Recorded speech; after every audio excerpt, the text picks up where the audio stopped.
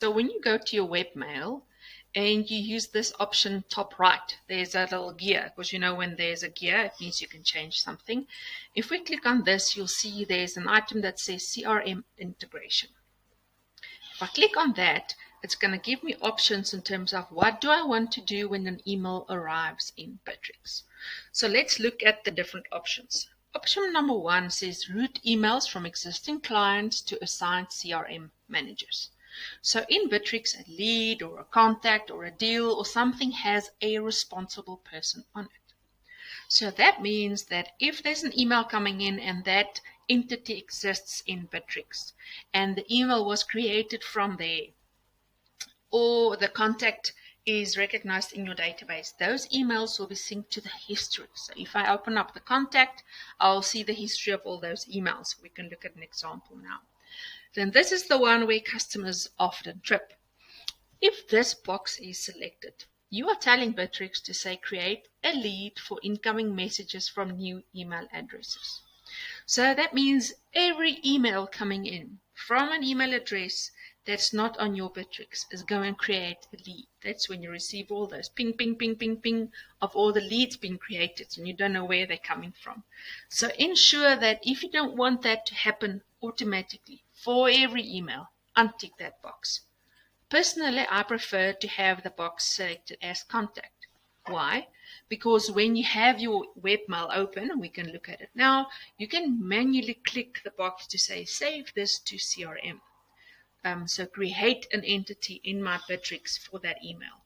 And then um, it will create a contact and not a lead.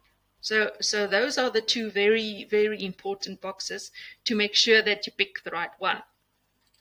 So if we look at this as an example, you can see over here on this email, it has the blue hyperlink, meaning something was created from this email when it came in. So automatically that was created. But if it's not there, the option where I ticked contact and not lead, if I click this box now, it's going to create that manually. Not for all the emails, just the ones that I selected. You also have the option to say when I've done this and I want to stop all the feed, all the history showing on that specific um, uh, lead or contact, you can tick that again and you can oh, you can go onto the hamburger of the options of that email over here and you can um, exclude it from CRM. There you can see exclude from CRM. Then it's not from your on. It's not going to save anything, but the history will still be there. So lastly, let's look an example of this email that was linked to the CRM so you can see what it looks like when you see the history.